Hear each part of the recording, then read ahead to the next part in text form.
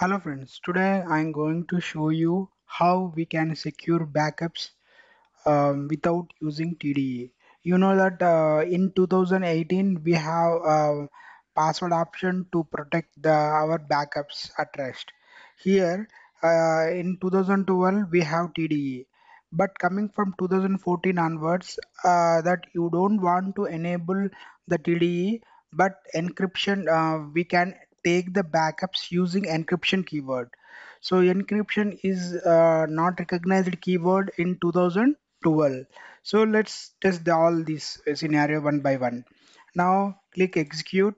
So now i am taking one of the dba which is not encrypted. So before uh, to uh, to be on safe side i am taking this backup.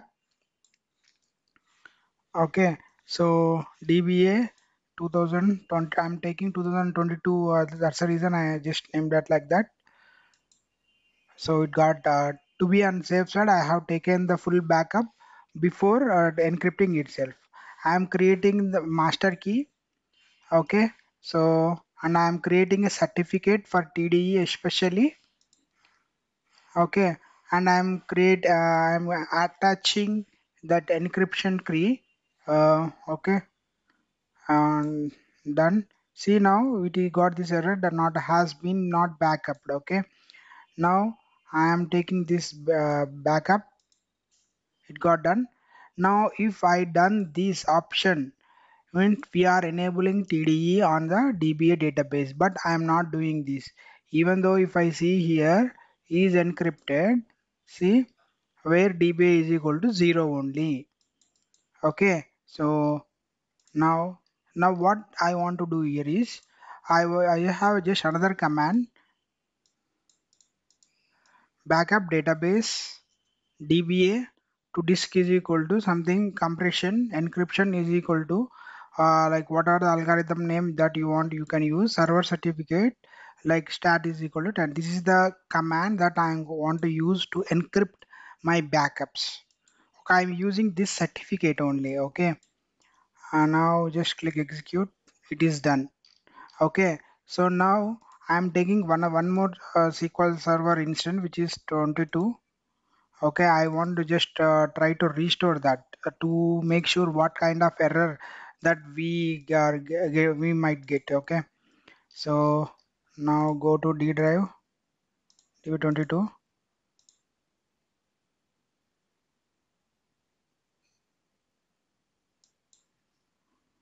so dba20 in the c drive right? Okay. So in the c drive uh, in the c drive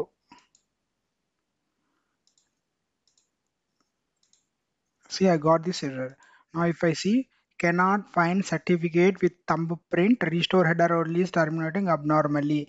We used to get this error. Copy this message and I am pasting here okay so for better visibility. Now so I can do this from SQL Server 2014 onwards. I can take this encrypt. But what about if I want to do the same in 2022 let's do that uh, that as well. So I am disconnecting this. I'm I am I am taking server SQL Server new query and paste it here that is not required. I am creating one master key. I am creating um, certificate. I am doing that one.